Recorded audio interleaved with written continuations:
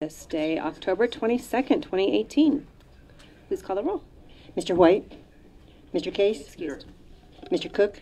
Here. Mr. Johnson? Present. Mr. Laybourn? Here. Mr. Luna? Here. Mayor Orr? Here. Dr. Rinne? Excused. Mr. Roybal? Here. Mr. Shanor? Here. Two members are absent. We do have a quorum, Mayor. Okay, please join me in the Pledge of Allegiance. I pledge allegiance to the flag of the United States of America and to the republic for which it stands, one nation under God, indivisible, with liberty and justice for all.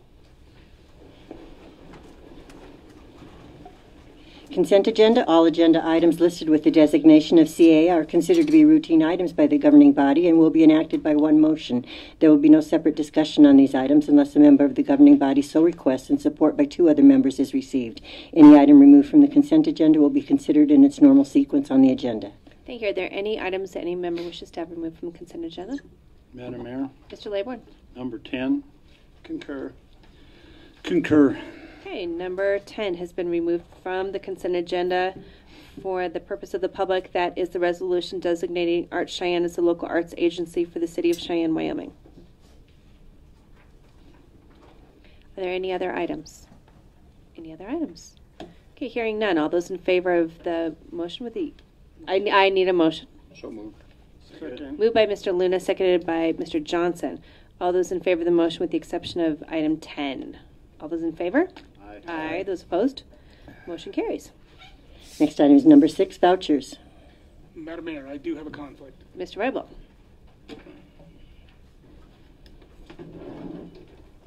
As he exits, do I hear a motion on the vouchers? So moved. Second. Moved by Mr. Johnson, seconded by Mr. Case. Discussion by the public? Discussion by council? All those in favor of the vouchers, please signify by saying aye. Aye. Those opposed? Motion carries. Ordinance Back, second. Mr. Roybal.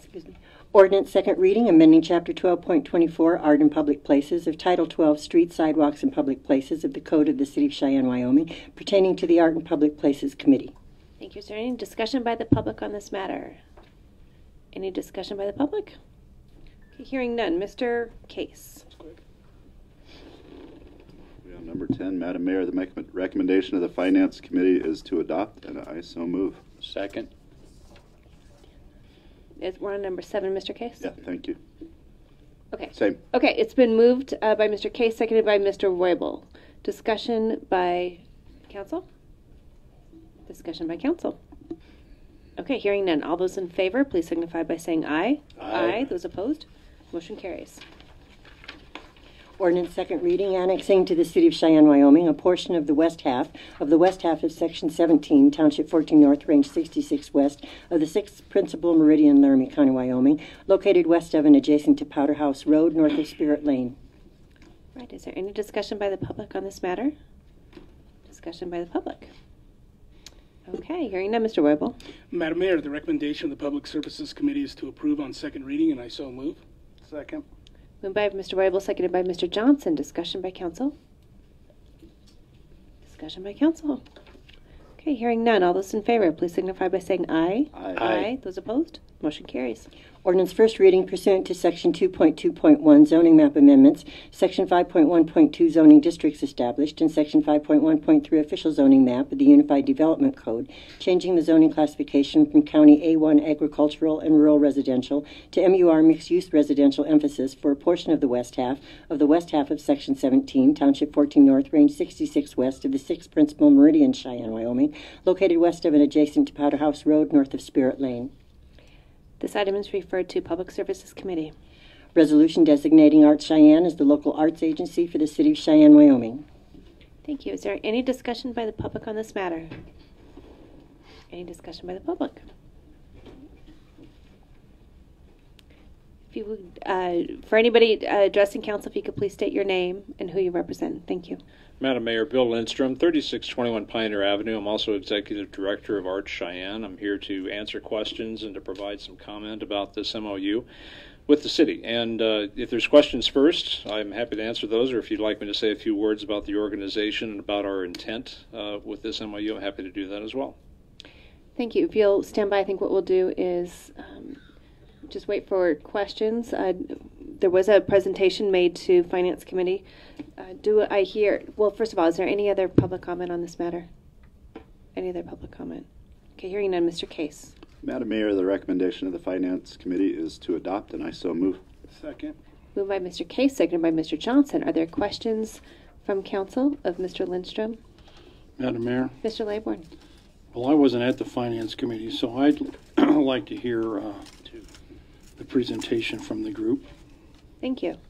I'll make it brief, Ma- uh, Madam Mayor, through you, uh, Councilman Laybourn, uh, just to reiterate, the organization Art Cheyenne is a 501c3 organization uh, that is uh, a nonprofit uh, that is both programming and poli- not policy, but obviously we're, we're a planning organization as it relates to arts development and arts execution in the city of Cheyenne.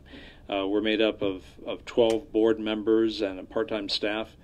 Our organization has been in communication with the city over the last year and a half when Councilman Johnson brought to us the idea of this organization uh, perhaps engaging with the Art in Public Places initiative and perhaps providing services related to community development, community guidelines, community planning as it related to public art.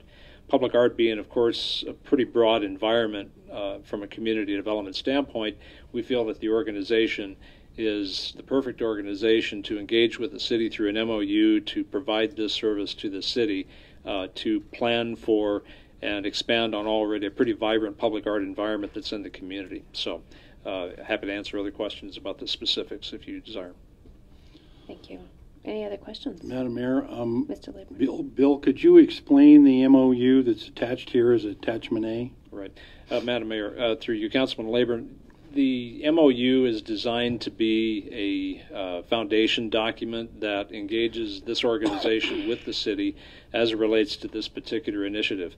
Uh, the organization uh, envisions a much broader environment for the planning of public art in the community, but it feels that this MOU is the first step in the development of a relationship between the city and the nonprofit organization, which will help uh, with, I guess you could say, our strategic planning, making sure that we're taking all the proper steps as it relates to the city's needs, the city's mission as it relates to quality of life improvements at a community level, and is then followed by additional steps which will be more specific about what it is that we'll deliver on behalf of the city. Uh, that could be very specific initiatives as it relates to public art development, and it could certainly be broad type services, including such things as a, as a database of the cultural assets that already exist, guidelines for a public arts programs, again, services like that that have yet to be defined but would be through a future contract that probably would need to be developed with a specific community or uh, government organization, government department. Thank you. Madam Mayor? Further questions? Uh, Thank you, Bill. Um, I would refer uh, the members of the council to uh, the MOU and item B4, which is uh, the city shall provide a contract within the Community uh, Recreation and Events Department to coordinate with the organization for assistance as required, including but not limited to developing guidelines for projects, submission of work projects, and implementation of the requirements of this MOU. So, a little bit of history here that might be useful is the fact that we had an Art in Public Places program that is, we're in the process of amending here uh, earlier in that ordinance, but really the point is that um, over the years, a program that began, um, I would say, in uh, 96, 98, um, with some uh, fifth penny money, uh, gradually expended those funds and became dormant. At the same time, our art scene certainly wasn't becoming dormant, it was becoming vibrant.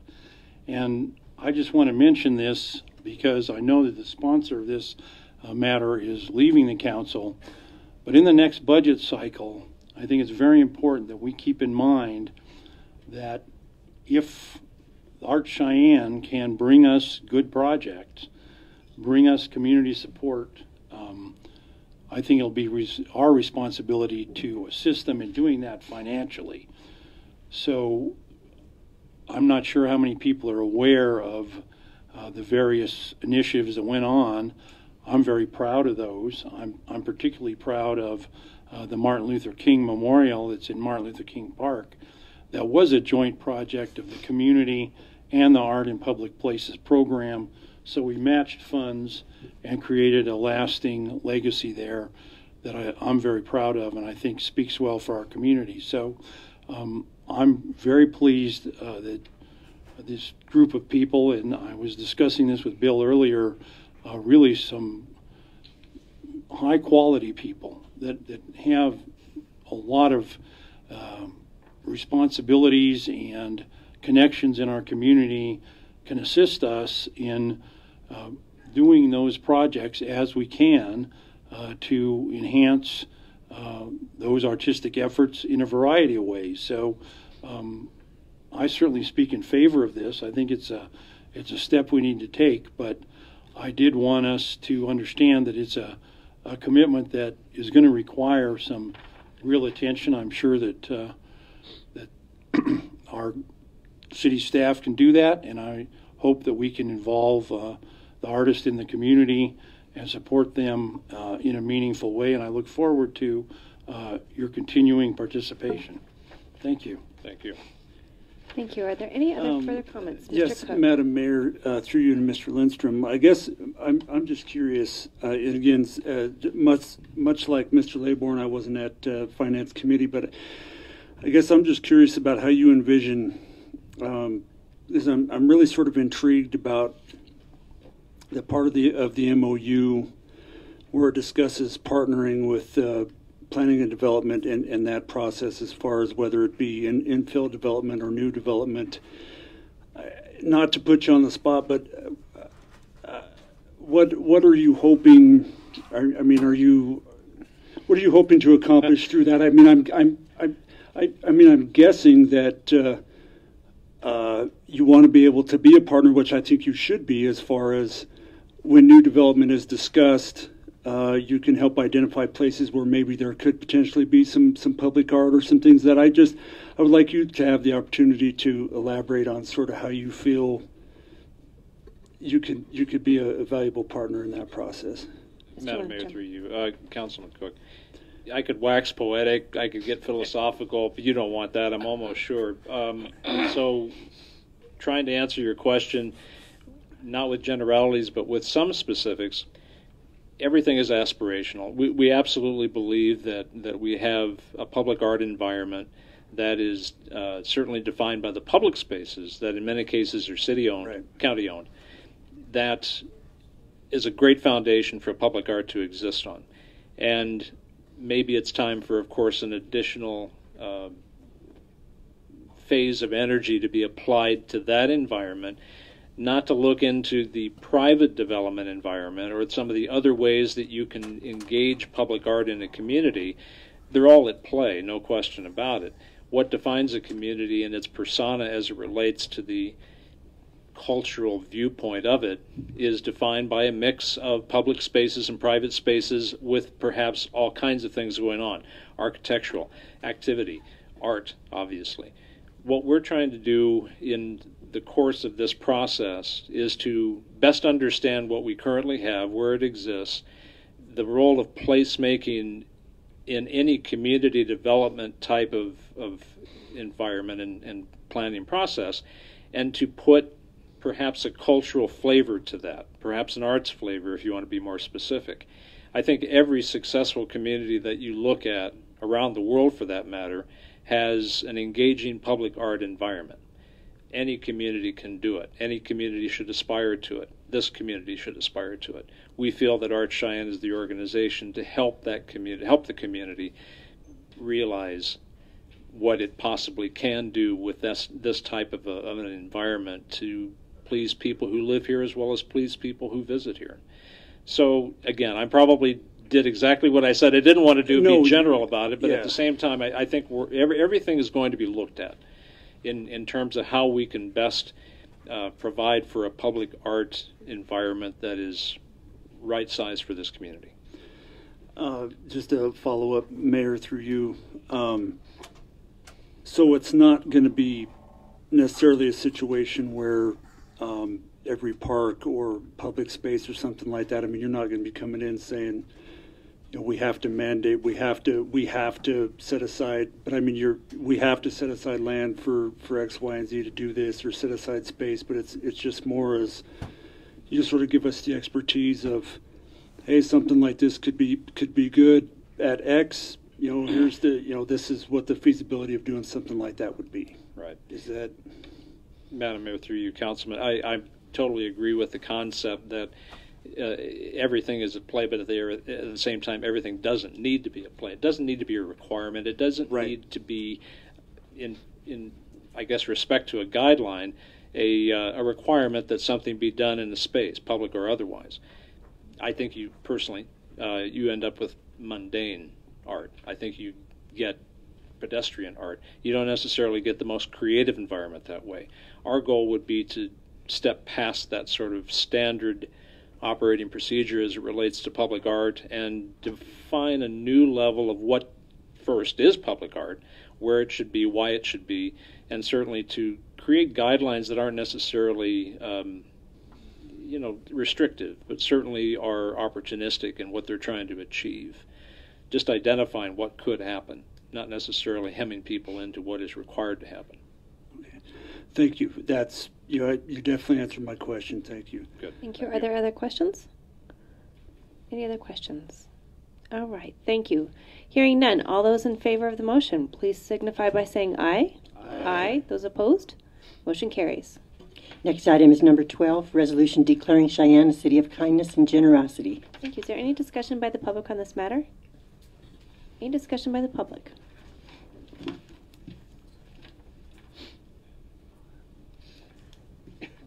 Good evening. Please let us know your name. Jerry Maria Johnson.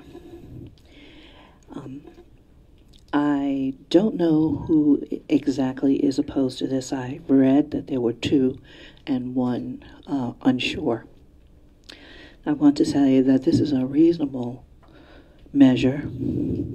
It's not about personal beliefs or political position.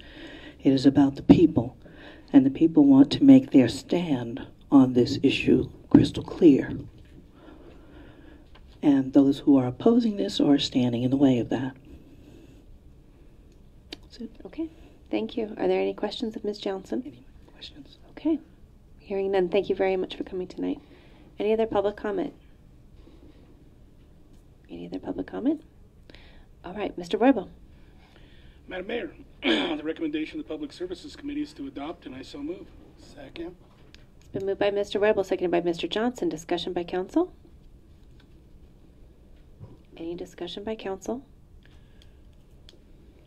Hearing Madam none. Mayor. Mr. Luna. Um, I'm, uh, I'm uh, on the thought that you can't make everybody be kind and generous. I mean, that, that's just not happening. And, uh,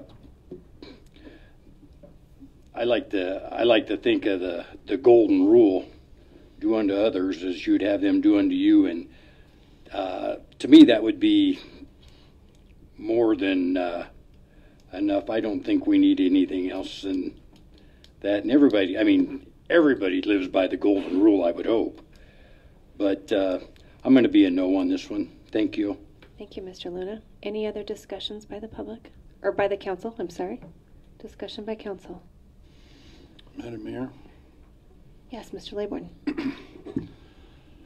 Well, I speak in favor of this resolution uh, because of how it came about. Um, certainly, uh, when the Compassionate Cheyenne Group came forward with a uh, proposal that was uh, in use elsewhere and internationally as well, that uh, seemed to be um, interpreted by some council members and members of the community as something that came from outside and that had political implications in specific actions on an international and national level. So, uh, certainly, if that was the case and that was the belief, uh, that's not what we're talking about tonight. What we're talking about tonight is what exists in this room and in this community every day. And something that I think we're very proud of, and is something that a spirit that we certainly want to acknowledge and enhance. And I can just say on a personal level, uh, when this resolution came forward, it made me think. And it made me think about how difficult something as basically simple as compassion, respect, and kindness and generosity is, it can get wrapped up in some really difficult political situations.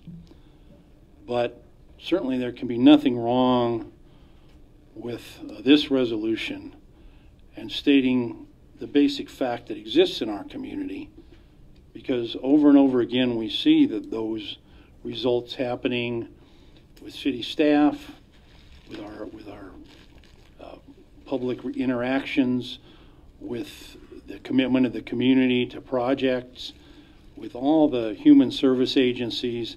These things happen every day, and they happen in a way that, that I happen to be very proud of. So certainly, uh, I don't think there's anything wrong with acknowledging that. In fact, I think it's something we should acknowledge. And when we go down the road here a few months or a few years, I think we'll see that no one is trying to force anything on anybody. We're just talking about the importance of these things in our community and how our community does respond, and I expect will respond in the future. So I certainly hope that if there are individuals here that are against this resolution, uh, they speak up and tell us why. Because I can't see anything here that isn't factual and positive for our community. Thank you. Thank you, Mr. Laybourn. Other discussion by council? Did you want to go first or no? I didn't. I, yeah. it's up to the chair to decide. Oh, I didn't- Other discussion by council? Madam Mayor, Mr. Case.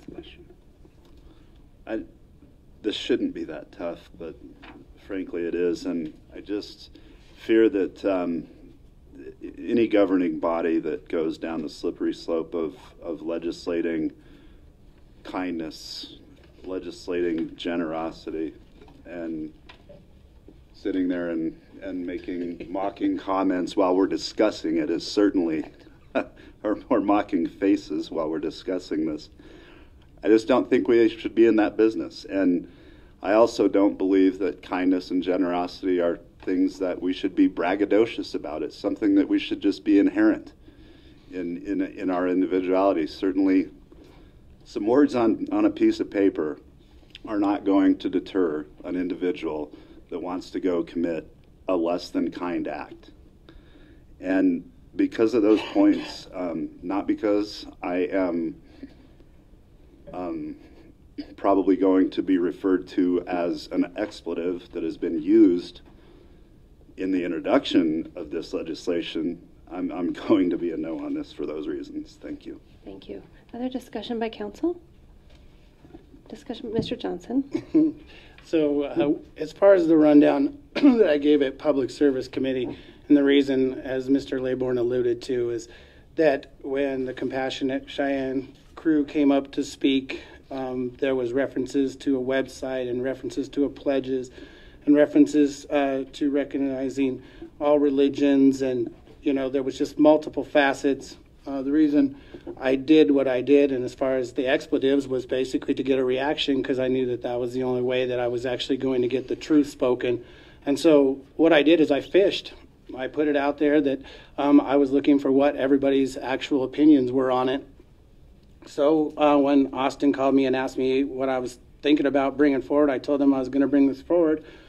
And yeah, I did say what I said, basically to get people to actually come out and and offer what their uh, true sensibilities were. If you look at the current resolution as it's drafted, when Brad wrote his uh, his editorials in the paper, I read them. I read the um, email from the pastor, and I read his letters to the his letter to the editor. I read all the letters to the editor, the Facebook comments, and everything else. And basically, anything that people actually feared um, in the original resolution, I posted it many times just to get feedback from the community on uh, what they felt uncomfortable with. And so I went before, um, after you know, about four weeks of uh, dialogue with individuals around the community. I presented it to the Compassionate Cheyenne uh, crew and said, here's uh, what I make a recommendation that this is making people really, really nervous.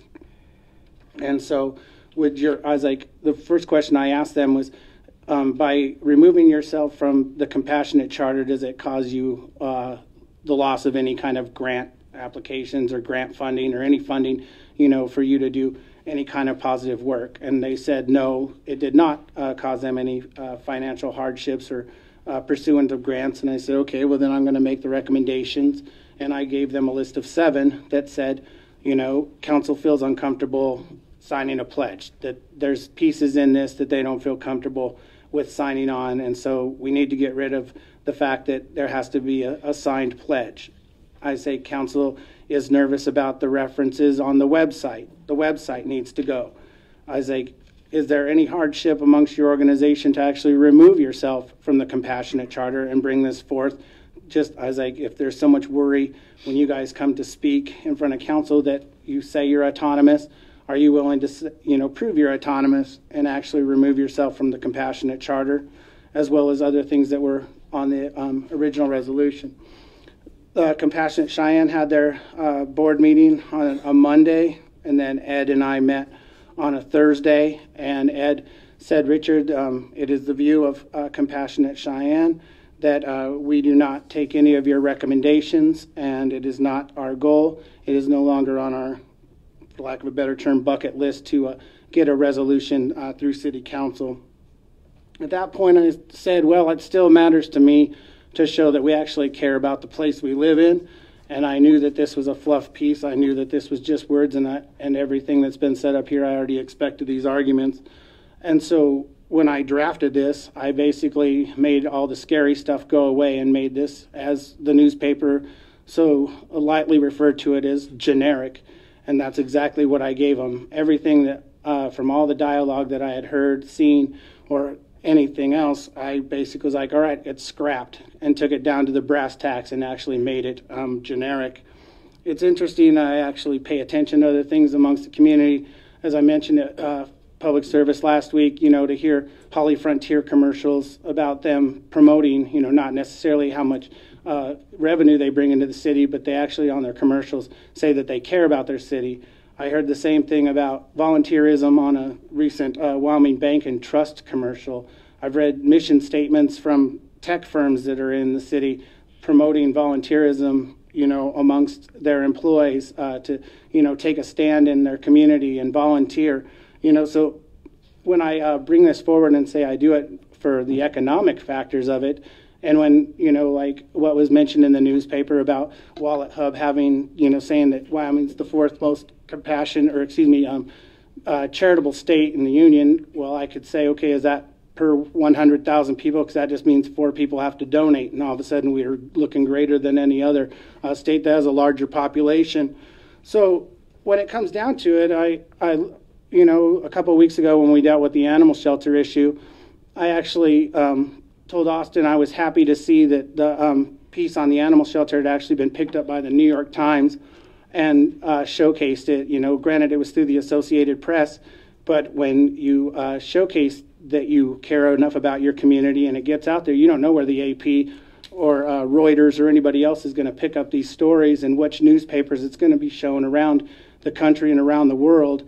I mean, it was interesting that Scott and I ended up in USA Today when the chicken ordinance passed. You know, I didn't expect that to go there. So you never know where these um, where these types of things are going to reside and who's going to pick up that showcases that Cheyenne actually uh, cared about itself. So as far as you know, I'm sure that I don't have the votes to carry this, and you know there might be amendments coming forward, and we'll deal with that at the time. But that was the groundwork that I put into uh, why the uh, kind and generous is taken away from compassion, and it's uh, basically down to uh, uh, the root instead of the tree. Thank you. Is there, are there any other discussions? Madam Mayor, Mr. Shanor. I wanted to let the sponsor speak and have an opportunity to talk uh, before I made my remarks because I, I wasn't in on the discussions when this was drafted. And what I'm, what I'm very disappointed about from the get go is that there's been multiple opportunities to apologize for those very unkind, derogatory remarks that were made in the newspaper. And that hasn't been done. Um, and so, not only were those remarks in and of themselves uh, extremely ironic, uh, but the fact that there hasn't been any effort to uh, take those back and apologize, just really to me, goes to the crux of, of the issue, and that is this governing body has no business making morality proclamations from this dais. We are not the city's moral police, uh, and nor should we ever be. Other issues I have uh, with this proposal, the um, mention of WalletHub ranking us very high, fourth in the country in terms of charitable contributions.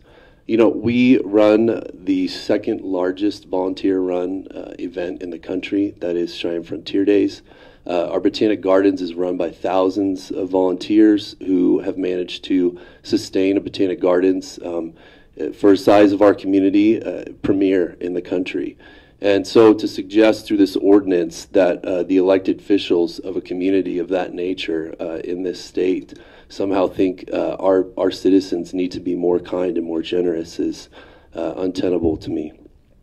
And lastly, uh, the word generous, uh, I don't believe that's my job as a councilman to be generous with taxpayer dollars. it's other people's money. I got elected to be prudent and strategic with those funds not generous. Uh, so I can't agree to that term either. And because of those reasons, I'll be a no vote. Thank you. Are there any other comments by council? Any other comments? Well, You saying know- that, oh, go ahead. Oh, I'm Mr. Cook. sorry, Mayor, through Please. you. You know, I've, I've really, I've, I've struggled with this over the last handful of days. Um, I share a lot of the concerns of my colleagues that have, have mentioned that they're not in favor of this. Um, but you know, at the end of the day, it's a resolution.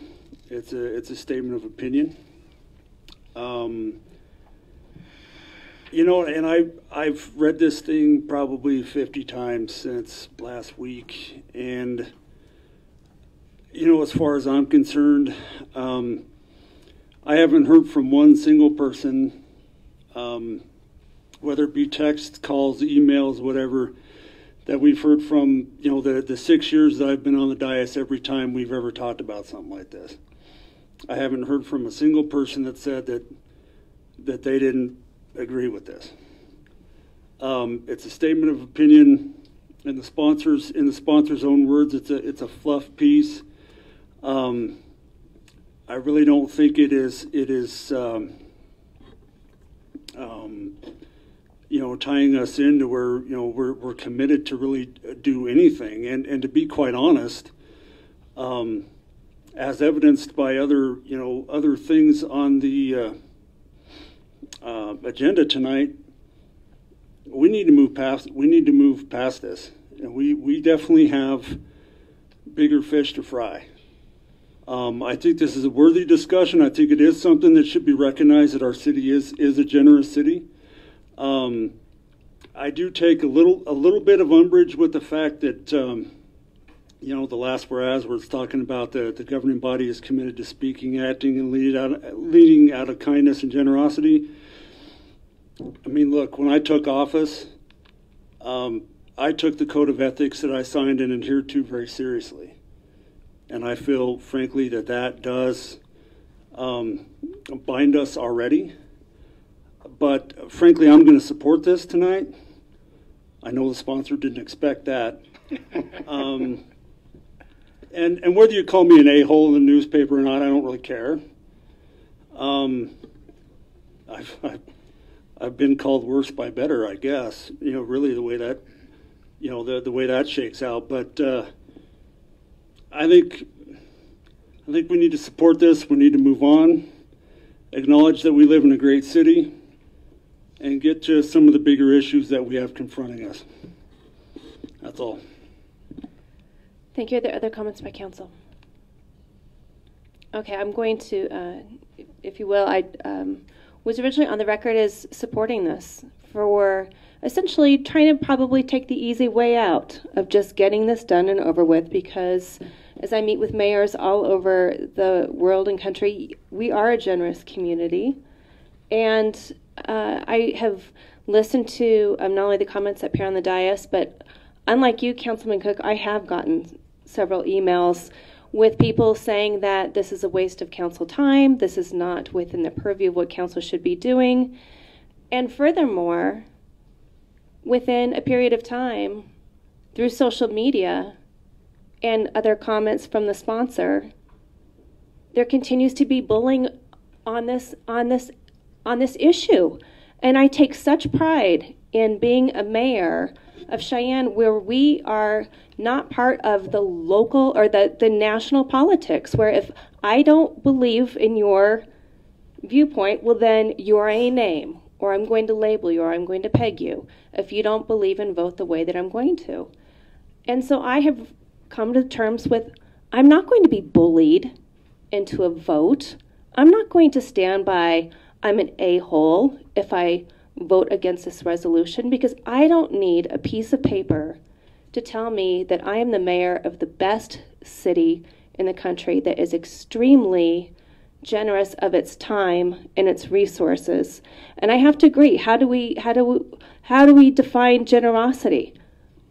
You know, when there are infrastructure needs. You you look on our on our agenda today, we're talking about major issues. And I'm sorry, but a stormwater system, how are we generous with that? Am I kind if I have to let an employee go because he or she showed up on the workplace in an unsafe situation?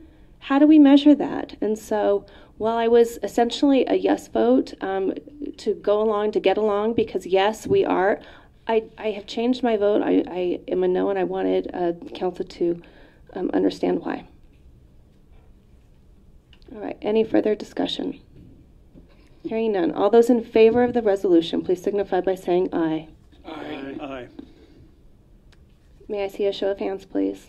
One, two, three, four. All those opposed? No. One, two, three, four. It passes. Excuse me, it fails. So for clarification, it failed on a tie vote. Next item is number 16D on page 3, agreement between the City of Cheyenne and FCI Constructors of Wyoming Limited Liability Company for the pre-construction and construction phase services for Cheyenne Municipal Courts Building, 1% specific purpose sales tax. All right, discussion by the public on this matter. discussion by the public.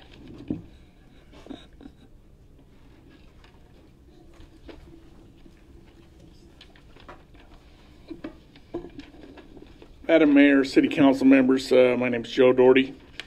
Uh, I was not at Finance Committee like Mr. Laybourn and uh, was not able to download the backup documentation from this from the city's web page. I don't know whether that was my fault or yours. Uh, I'm wondering if it'd be possible for for someone to share a little bit about the scope of services and the uh, financial commitments connected with this agreement. Yes, we'll provide a quick overview if uh, Ms. Ms. Nemechek, if you would.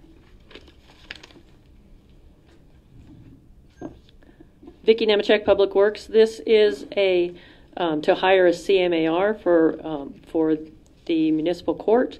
Um, it does the uh, funds that are involved are And that's construction manager at risk. construction manager at risk.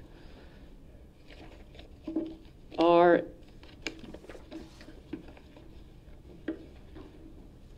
twenty-one thousand four hundred eighty-five dollars um, for the the CMAR's fee for the pre-construction services, and the pay, um, the construction service fee compensation, the stipulated maximum fee for construction phase services is one million two hundred forty-six thousand forty-three dollars. Okay, thank you. Other discussion by the public? If I could, just in the way of, of uh, clarification, can you explain to me what the scope of services is, which is a very small amount for pre-construction?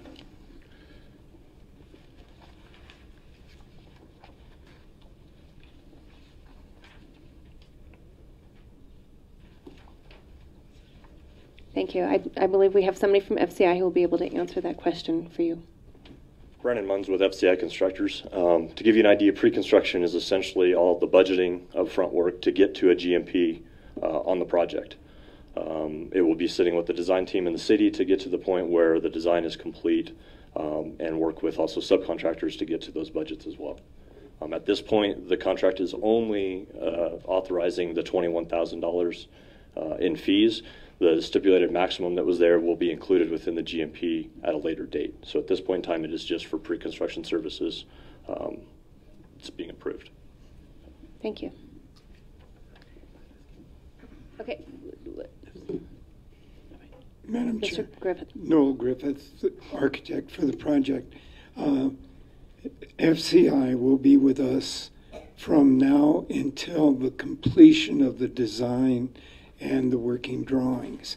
At approximately 50% of that, they will be giving you a GMP on the project, telling you what the maximum will be that we will spend on this project. Uh, right now, I can tell you that it is imperative that we have them on board as soon as we can. Uh, we will use them if this passes tonight or when it passes tonight, tomorrow morning. We need it that badly.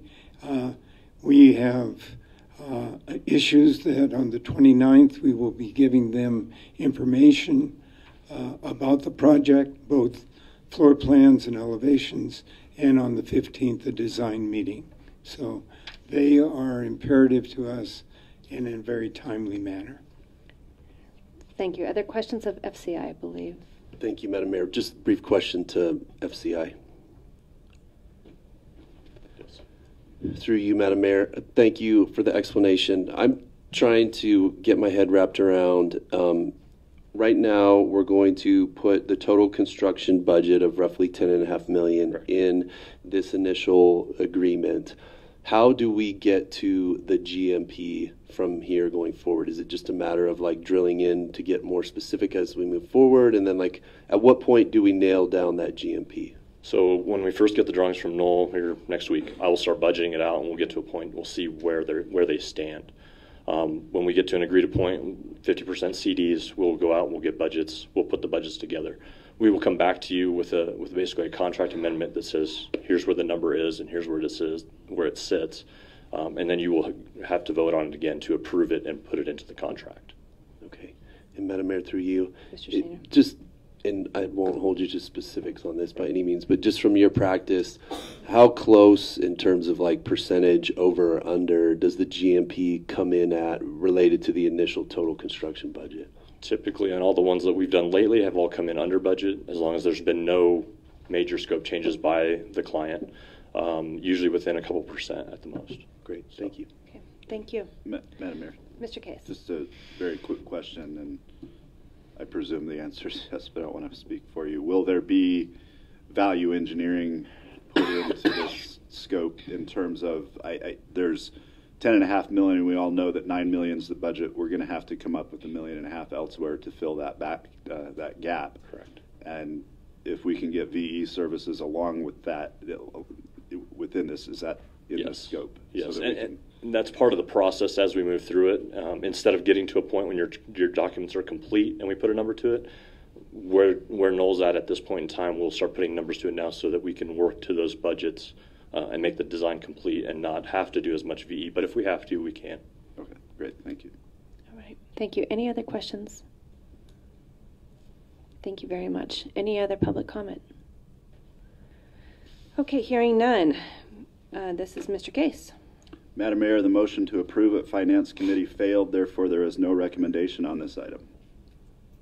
Do we have a motion? So moved. Second. Moved by Mr. Roybal, seconded by Mr. Case. Discussion by council. Madam Mayor, Mr. Case. I move to amend by substitute dated 10/22/18. Second. Okay, it's been moved and seconded, moved by Mr. Case, seconded by Mr. Johnson to uh, move forward with the substitute. Discussion by public. Discussion by, oh, Ms. Nemechek. Vicky Nemechek, Public Works. The subs- substitute um, does two things, actually. It um, does put in the construction costs um, on the table on the first page, one of 37. So it does add those construction costs, the first floor being $6.4 million, the second floor being $4,138,750 for a total construction budget, and this is construction only, of $10,538,750. It also, uh, I've also attached Exhibit A, which is the CMAR fee proposal, and Exhibit B, which is the CMAR fee structure. Thank you for that explanation. Other questions of Ms. Nemechek? Just Mr. Johnson? one. Okay, so last week I knew I caught it because we talked about the 41-page document. So how is it page one of 37 on the front page, and then the next one says two of 41? So is the page wrong? I know that's just a No. technicality, but I just wanted to make sure that I was everything was in sync.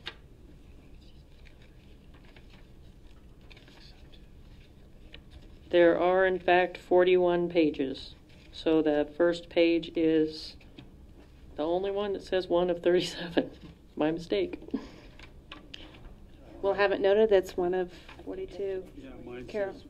Through you, Madam Mayor, I think the exhibits are renumbered on their own, so they're not in the total. That's But they're correct. Okay. attachments, so like Exhibit A is page one through four, Exhibit B is page one through 12 or whatever. So those are additions to the initial contract of page 41. So it's, it's been done different ways. Okay. Vicky Nemechek, Public Works, if I may, that, that is simply my mistake. I pulled this page up at this, um, page one, and I redid all of the information on the front, and I did not renumber that page like I did on the last one. So it's just simply an administrative error on my part. Thank you. Any other questions by council? Any questions by council? Um, Madam Mayor, it's not necessarily a, a question, just, just more or less a, uh, a comment. Um, you know, I've done a, I've uh, done a lot of research um, in the last several weeks on this, as as most of us have. You know, regarding this entire press, this entire process, CMAR process, and specifically on um FCI as it relates to. Uh, this particular project, and I'm I'm convinced, frankly, you know, just by looking at the, the scope of the, the projects that they have done uh, that are very similar to to our project, whether it be uh, other courthouses or things of that nature. Um, you know, they did excellent work for us. I think most of us up here would say that they did excellent work for us uh, as a CMAR on the uh, the transfer station. Um, you know that came in budgetarily right where it needed to be. I felt like um, they are perfectly, you know, more than capable of keeping us where we need to be cost wise, and working with the architects to uh, to answer the questions that we need to have answered in order to keep this budgetarily where it should be. Um, they have shown a, a, a very clear track re- record, in my opinion. Again, um, you know their their expertise I think is, is second to none. They are right here. I think there are a lot of things. I mean, their office is basically less than a mile away from the from the project. There are a lot of things to like about uh, having them be the CMR, CMAR for this project.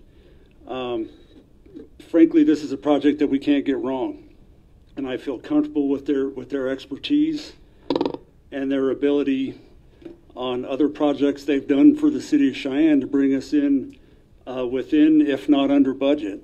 Um, I certainly plan on supporting this tonight. I do agree with uh, with Mr. Griffith that we need to get moving. You know, the the time now. I mean, every every month, every day that we wait, every month we lose fifty thousand dollars. Um, we need to get going. You know, we've told them we want a second floor. They're uh, designing a, a second floor floor shell out for us. Um, we've got to, we've got to let these folks do their job in order to uh, proceed with this project. That's uh, that's what I have, and I, as I said, I plan on supporting this tonight. Thank you. Other discussion by council? Further discussion by council? Madam Mayor, just a brief comment. Mr. Case. Um, through you, and I just appreciate the folks uh, from from FCI as well as Noel Griffith taking some time last week to help me understand exactly what we're doing here. I know there were some um, missed shots last week. We got through them, and, and I think I'd agree with my colleague, uh, Mr. Cook. This is time to move forward and get this project going. Thank you. Thank you. Further comments by council? Further comments by council? All right, hearing none. All those in favor, please signify by saying aye. Aye. Aye. Aye. Those opposed? Motion passes. Madam Mayor. Oh, sorry, It's on that me. was the amendment. Okay, now we are back on the main motion. Uh, Any further discussion? Okay, hearing none. All those in favor of the main motion, please signify by saying aye. Aye. Those opposed? Main motion passes. Next item is number 19A on page four. Appointment of Alexis Art, Maggie Black, Ashen Doty, Darby Downham, Reagan Downham, Dylan Furtick, Julia Horst, Kieran Logren, Marie Lucas, Emily Lucero, Lars Quinlivan, Kenitra Shanks, Dominique Singleton, and Marty Young to the 2018-2019 Mayor's Youth Council. Thank you. Is there any discussion by the public on this?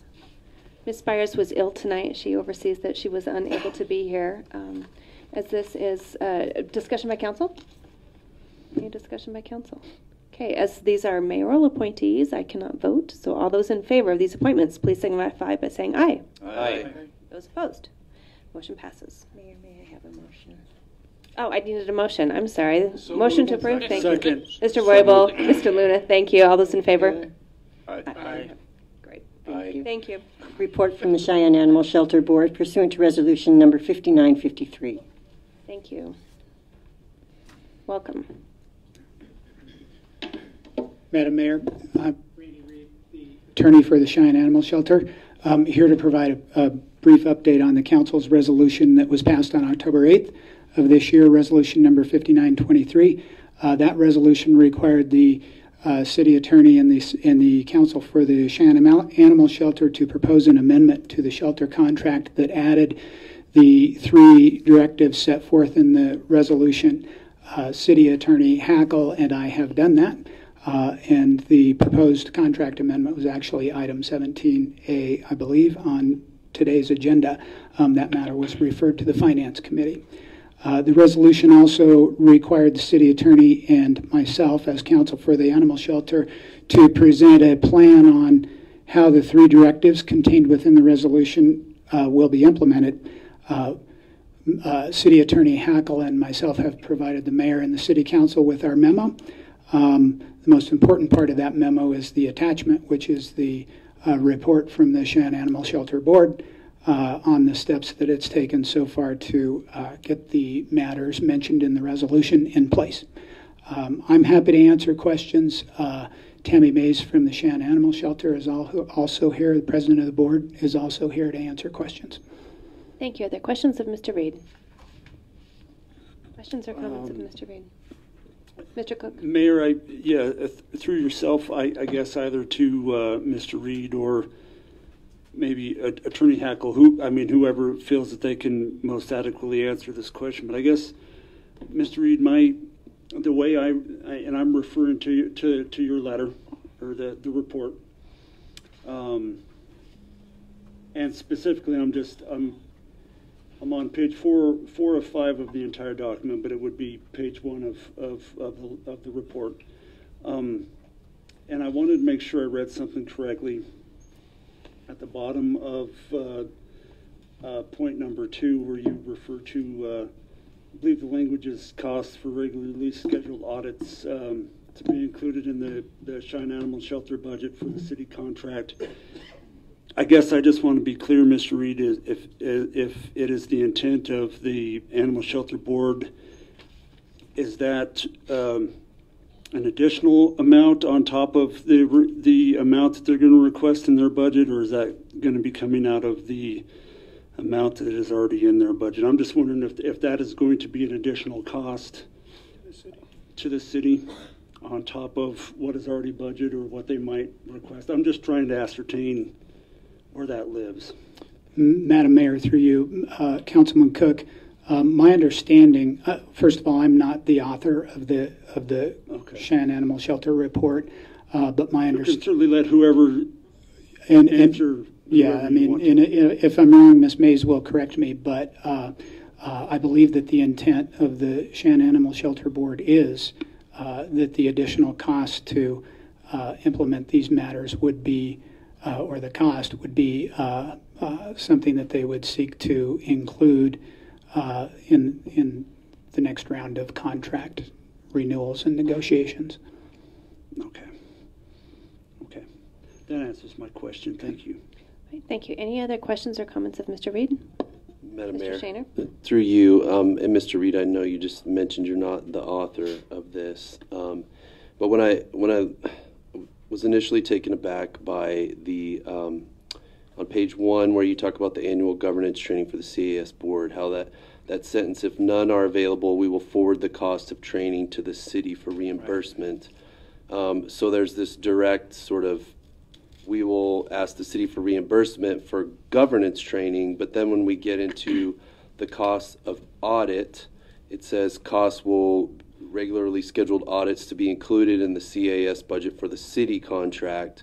Uh, and then there's that sort of catch-all phrase at the bottom that the board will revisit total costs of services to governmental agencies, to me, which would include the county, to include attorney's fees, training costs, consultant costs, and other expenses incurred in the implementation of the directives set forth in this resolution. So what I struggle with is the explicit um, intent to bill the city, but then at the end it says you will look at the budget holistically and bill all governmental agencies, so the county as well. Curious uh, why there's, at least to me, there appears to be some dissonance in how these costs are going to be recouped. Sure, Madam Mayor, through you. Um, frankly, that may be a question better answered by the shelter folks. Um, but my understanding, again, is that the costs of implementing these director the directives um, are are likely to be spread among the governmental agencies for which the shelter provides services. Um, and I agree, maybe that isn't so clear in this document. And again, if I'm wrong about that, um, um, I'm I'm happy to have Ms. Mays clarify. Thank you. Thank you. Ma- Madam Mayor. Mr. Case. Um, just to briefly, and item 17C, which is on our consent agenda for this evening, is that contract piece for the animal shelter, which is being referred to finance. I suspect we'll have an opportunity to speak to those financial costs and, and explored for for those components of of this resolution. And if so, are those things that can be brought forward? Madam Mayor, uh, Councilman Case, I personally don't have knowledge of whether the costs have been explored and if they have, what they found. Um, um, so I would again defer to Ms. Mays. Okay. Uh, yeah, and I guess my preference would be just let's unpack that when we get the, to the contract rather than tonight. Uh, That's all right with my colleague. Thank Yeah, you. that makes Thank you for the sense. report. Any other further questions? Okay, hearing none. Thank you. Announcement of public hearing to be held November 13th, 2018 at 6 p.m. in City Council Chambers, 2101 O'Neil Avenue, Cheyenne, Wyoming, for a special malt beverage annual permit application filed with the City Clerk's Office for the City of Cheyenne, doing business as City of Cheyenne Civic Center, 510 West 20th Street, Cheyenne, Wyoming. Announcement that due to the Veterans Day holiday and city offices being closed on Monday, November 12, 2018, the regularly scheduled City Council meeting will instead be held on Tuesday, November 13, 2018, at 6 p.m. in City Council Chambers, 2101 O'Neil Avenue, Cheyenne, Wyoming. Other business. Thank you. Other business by the public, Mr. Mason.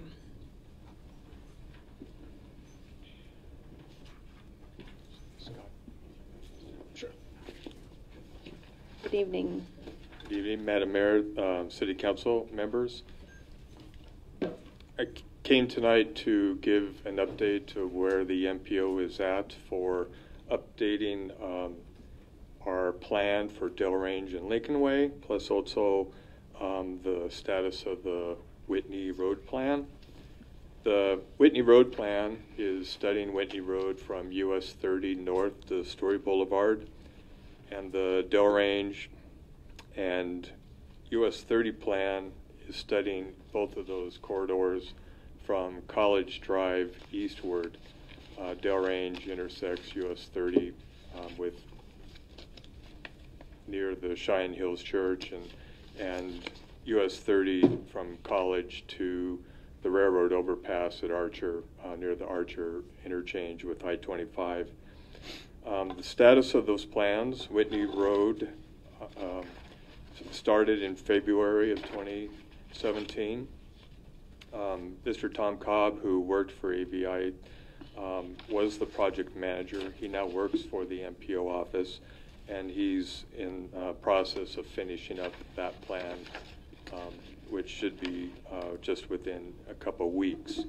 Um, the plan for Whitney Road from US 30 to Storey is is uh, looking at the corridor, um, how wide the corridor should be um, built to to handle future traffic, and what alignment it takes as it goes up the hill near the old Whit- Whitney Ranch. Um, it's also looking at the intersection of US 30 and also Dell Range on how best to uh, rebuild them. The US 30 and Dell Range plan um, is starting just this spring, June of 2018, with Kimley Horn. Um, so far, the project has had um, one steering committee meeting and one public open house. And those corridors, those corridors plan are, are looking at also how they should be rebuilt and also um, how the major intersections that they have along those roads should be rebuilt. The project schedule for that um, is anticipated to be uh, completed by March of the coming year. Besides doing these projects um, to forecast um, how they should be rebuilt, some of these projects and pieces of the projects um, are programmed uh, for funding. First off, the Dell Range and US 30 intersection is uh, programmed uh, to be funded um, probably no earlier than 2021.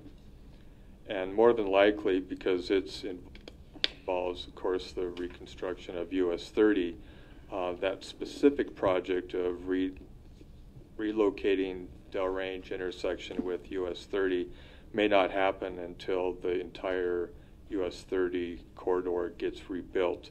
Um, but there is a possibility that it could happen on its own, and then the rest of US 30 would, would come at a later date. The second project that is funded is the reconstruction of Whitney Road between US 30, but not including the US 30 intersection, um, about 0.3 miles north to the Dell Range intersection and this project more likely would include the reconstruction of, of Dell Range and, and Whitney Road. Both those projects, the reconstruction of Dell Range US 30 and the Whitney Road reconstruction, are funded uh, with the federal funds that the uh, MPO Policy Committee helps determine where those funds are spent. Um, and both of those projects are also in the county, therefore they'd be matched by the county. Then the other project, the big one, is um, US 30 between College Drive to the railroad overpass at Archer. Um, WYDOT has that program to be rebuilt in 2024.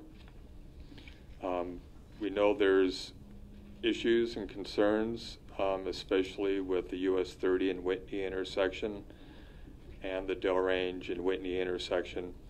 Um, we'll be looking at those two intersections with the city, county, and WYDOT to determine if there's something that can be done um, intermediately, intermittently, sorry, I'm not saying it right, um, short term before the big projects before the big projects come.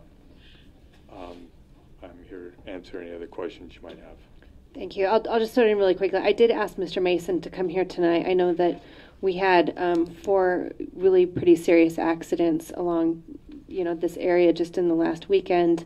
I was in contact today with our partners at WYDOT, with our partners at the county, certainly with Mr. Mason, and we are um, all uh, pledging to get together here in especially once we get the crash data from the police department once those reports are completed regarding the cause of those accidents and looking at again kind of a stopgap measure we've probably already heard from you know people are suggesting four-way stops you know lowering the speed limit. Um, in addition i do want you to know that we've also been in uh, communication with the school district regarding dakota crossing and the changes that have been made with that. We're really working on the safe route to schools.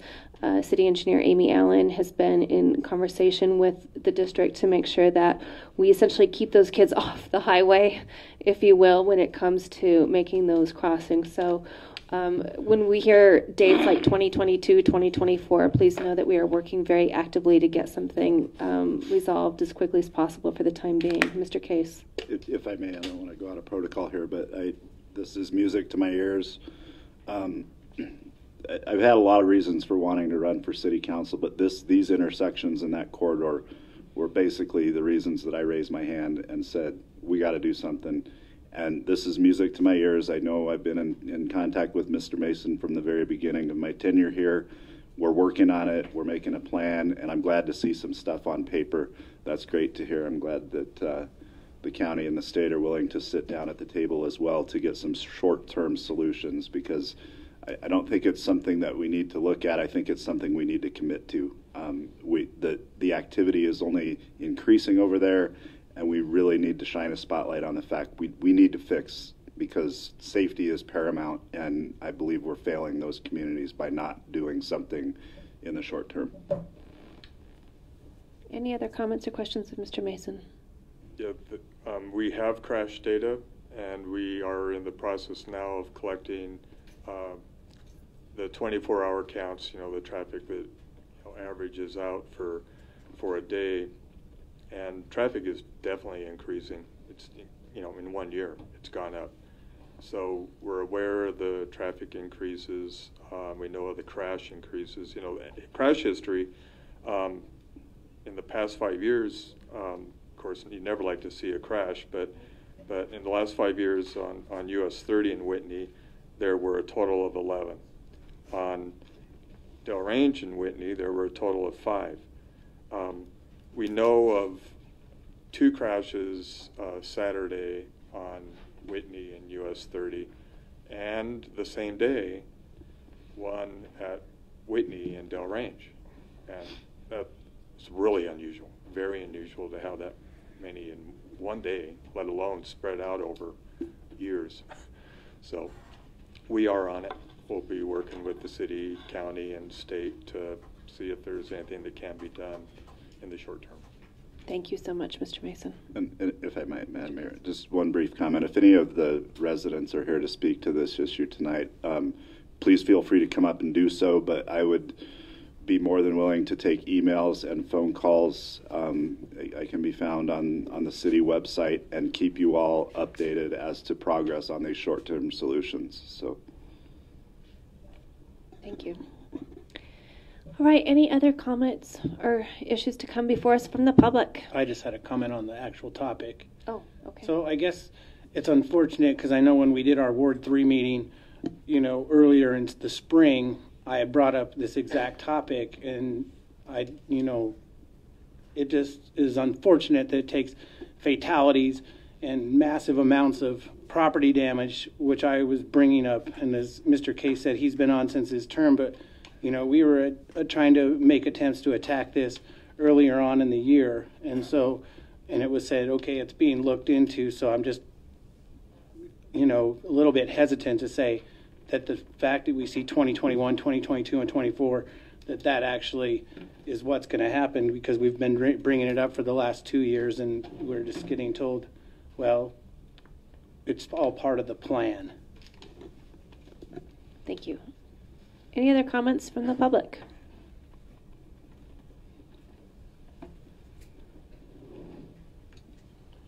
Don Edmonds, 7309 East Pershing Boulevard. I get to deal with this little problem every day.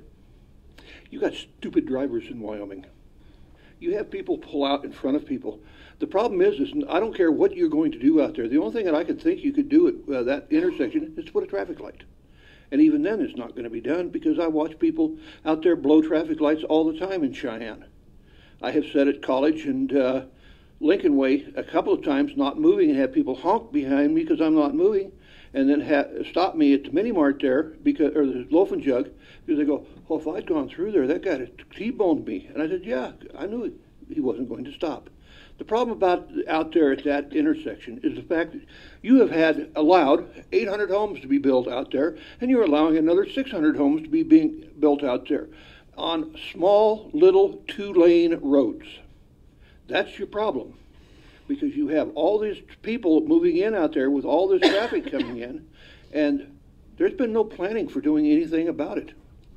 And uh, because US 30 is uh, up about a mile west of there, goes from two lanes down to, or from four lanes down to two lanes. It was two lanes all the way, or if the four lanes was out to that way, that might help alleviate the problem. But the problem is it isn't. Pershing doesn't help much because Pershing for everybody's commitment on it is a hodunk third class road. I don't know if you guys have ever been out there, but Pershing is a quagmire of city and county jurisdiction. Part of it's city, part of it's county, then part of it's city again. Okay, this is going to cause a real major boondoggle out there when things have to be fixed or their jurisdiction or anything like that. Myself personally, out where I live, I'm not going to stop for a city police officer. He wants to pull me over. I'm not going to stop county sheriff, I will stop. But as far as I'm concerned, where I live, I'm not going to recognize a police officer because I'm too far out in the county. But the thing about it is, what we're saying here is a lot of my neighbors feel the same way. And what we're trying to come across is okay, this new division that you just allowed in, and I'll be honest with you, the, the Edwardses are great about putting this thing in, but the only problem is there's only going to be two exits in and out of that subdivision one at Farthing and then one uh, dumping into Saddle Ridge. And they're going to have 400 some odd homes out there. That's a lot of people for two entries every day. The, that to me means that the city engineers hasn't been doing the proper planning on trying to make sure that stuff's out there. That's like uh, you guys have gone in on Taft and Pershing. You have it uh, fixed so that uh, the traffic coming down Taft taps the uh, the red lights so that if you're going on Pershing, you have to stop for the traffic coming down Taft. I remember living out there when Taft wasn't even there. Then it became a two-lane dirt road. When I say two lanes, I'm talking about two two ruts in the in the dirt. Then it became a rough dirt road. Then an improved four-lane or dirt road, and now it's a really nice paved road coming out there. But it didn't used to exist. And again, it, the the priorities seem to be kind of askew for what's going on. But it's just the idea that you know this this is kind of going on, and until you guys get out there and you actually get somebody out there that takes a good, honest look, that's what's happening in the traffic patterns out there. I'm surprised there haven't been more accidents out there, because I watch people all the time run those lights. As a matter, of, say I drive that every day, three or four times a day and I'll tell you what, there's times that, you know, it kind of scares me to be driving out there because of some of the fools that are driving on our city and county roads. Thank you. Thank you. Questions of Mr. Edmonds? Good thing because he's already sitting down. All right. Any other comments? Good morning, or good, good evening. Um, I would just like to also, Wendy Volk, sorry, 3918 Pioneer Avenue. Wanted to just also reiterate that for 30 years, the Campstool Christensen overpass has been in the planning process. 18 months ago, the voters did approve um, to have that passed. Um, and I would love to see traction on that project at the same speed that we're doing the Commons Park and the Municipal Court Building when that was also passed on the same six penny. Um, I think this, had we been pushing farther along on that, this would help alleviate the congestion that we're seeing and that could help lighten the load on those other arterial um, roads. So that was I wanted to share. Thank you. Any other discussions by the public? All right, discussion by council. Any other comments by council? Yes, Mr. Johnson. Um, kind of following off of what um, Wendy said, I had this written Madam down Mayor, because of an We've kind of an article. emergency, I have to go. Oh, thank you. So, um, this, uh, today in the USA Today, um, they had a feature in regards to, uh, Wisconsin and tariffs. And so one of the, um, interesting facets of that was, um, the price of steel, uh, going up with tariffs. Um, they had a, a person that actually built steel girders for bridges and farm equipment, and he was talking about how the tariffs had impacted, um, the construction of what he does for a living with fabrication. So, um, pretty much to follow up on her because of the USA Today. Do we have any update? Because, like um, we've discussed earlier, with you know fifty thousand dollars a month for the courthouse, what are we looking at as far as projections um, on movement with the Christensen Road? Thank you, Ms. Allen. Madam Mayor, through you, uh, we actually met today and we set a bid date of January 8th, if all can go well. Um, that will push us back probably into construction through 20 2020, but until we get the bids in and, and take a look at the schedule from the contractor. So our bid date today, uh, looking at council meetings and everything else, is January 8th. Thank you. And, and to clarify too, I mean, just because the voters passed something doesn't mean that we still we still had to go through the financing portion of this and the design portion and and unfortunately these things these things do take time. It it um but but that is that is the latest schedule. Yeah. Uh, Madam Mayor, through you, and it is priority of the engineering department right now. Um, we met today, and we have um, some of our new engineers, well, one of our new engineers working on it, and so we're pushing it as much as we can. Yeah, I just red flagged it because of that article.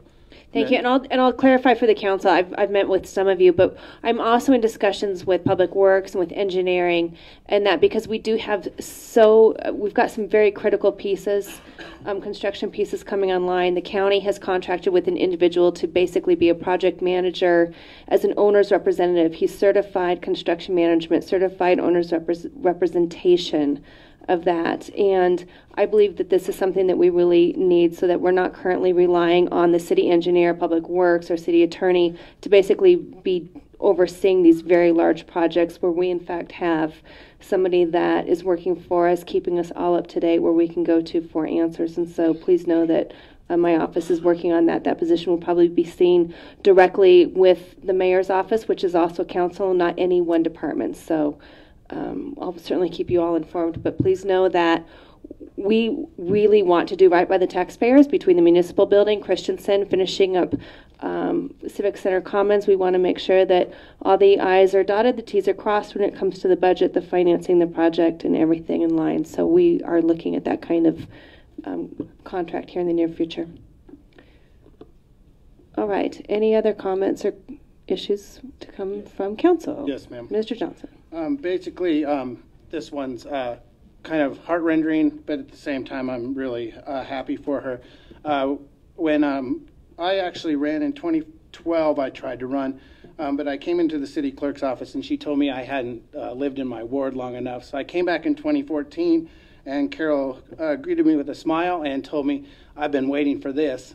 And so, uh, so not only did my dad inspire me to run, you know, by daring me, but uh, Carol was uh, there when it um, happened. So I found uh, three quotes that I uh, was happy to uh, hear uh, when Carol read them. Uh, resolution, and I apologize, I'm not going to do uh, section 2.2.1 of the UDC and the sixth prime meridian, but uh, resolution uh, proclaiming uh, Purple Heart Day and as the city of Cheyenne, Wyoming, to be a Purple Heart City. Ordinance, third reading, amendment, section 912090, skateboards and similar devices prohibited of chapter 9.2, offenses against property, and title 9 of the public peace and welfare of the city of Cheyenne, uh, referred to public cities. That was a third reading on here. And then, of course, the last one, uh, when she read it, uh, ordinance third reading, amending section 6820, uh, keeping or slaughtering of certain animals, restrictions within the city of chapter 6.0, or excuse me, 608, animal care and control regulations, generally of Title VI animals of the Code of the City of Cheyenne, referred to the Committee of the Whole. Um, so, just looking back at how much um, Carol has read into these documents and listening to 2.2.2.1 and every other thing that possibly imagine, I was thinking of this when I saw her resignation of the things that when she actually read them to the record and they actually passed, and I was like, you know, what uh, better way to say that I appreciate everything you've done in your time with the city, um, encouraging me to run, um, encouraging me to stay, as well as um, just being a, a, fantastic employee. And I respect your professionalism and all the um, things that you've taken your time to uh, telling me, you know, about you know electric fences and telling me about uh, when all of a sudden spitting on the sidewalk became part of the Spanish influenza, and you know just um, thousands and thousands of emails back and forth where you've actually given me the history of why these things were on and whether or not they were up to date and whether or not you actually thought that they had merit and if they should have stayed on city code and then listening to my point of view on countless topics over the last four years. And so I do want to tell you, I really appreciate uh, you and all you've done for me personally. Here, here. Thank you. There. Retirement. Yes. Carol, did, did, you, not that she's counting down, but she came into our, we always have a pre-meeting at 3 o'clock before these meetings, and she said four more meetings. Was that right? Mm-hmm. Four more meetings. So we have her for four more meetings. All right. With there being no further business, we are adjourned.